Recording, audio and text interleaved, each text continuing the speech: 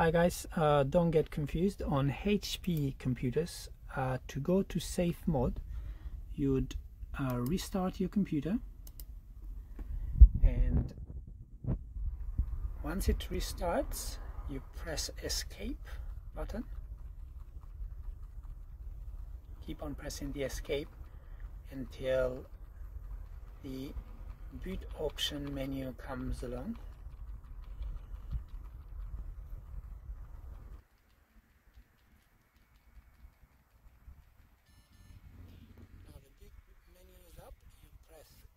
F11 which is system restore. You wait for the uh, other menu to come up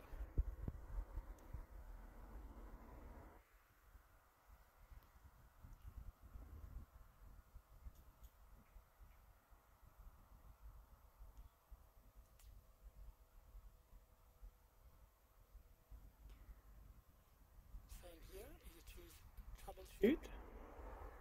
Then you go to advanced options.